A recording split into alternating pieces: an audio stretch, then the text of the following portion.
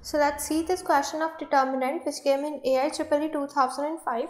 So in this question it is given that a square plus b square plus c square is equal to minus 2 and fx is given in the form of determinant and it is given that fx is a polynomial then we have to find the degree of fx. So let's solve this question. So here is the solution.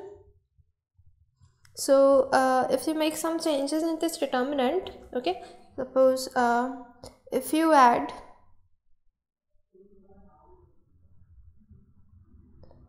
if uh, column 1 becomes column 1 plus column 2 plus column 3 then this determinant will be fx is equal to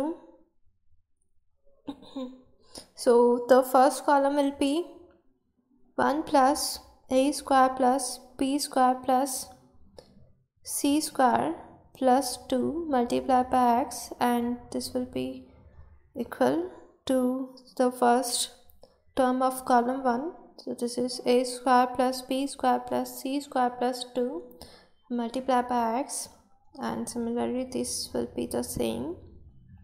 Okay.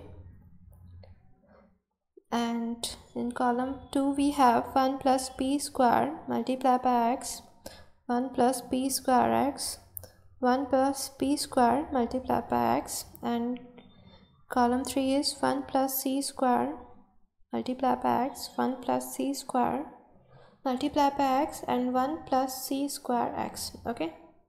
So uh, we know that the in this uh, determinant it is given uh, in this question it is given that a square plus b square plus c square is equal to minus 2 then this term will become 0 okay so we have in column 1 we only have 1 1 1 okay?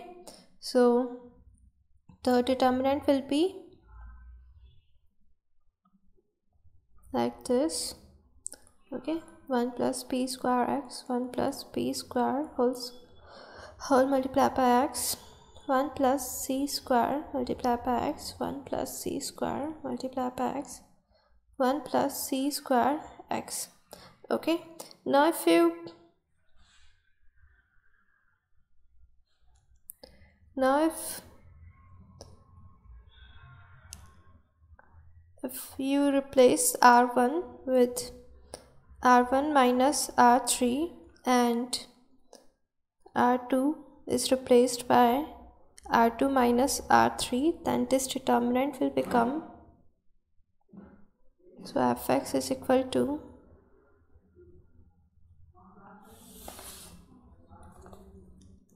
0 in row 1 we have 0 0 x minus 1 row 2 we have that is r2 0 1 minus x x minus 1 and 1 1 plus b square x 1 plus c square x. Okay so the value of this determinant will be x minus 1 whole square. So fx is equal to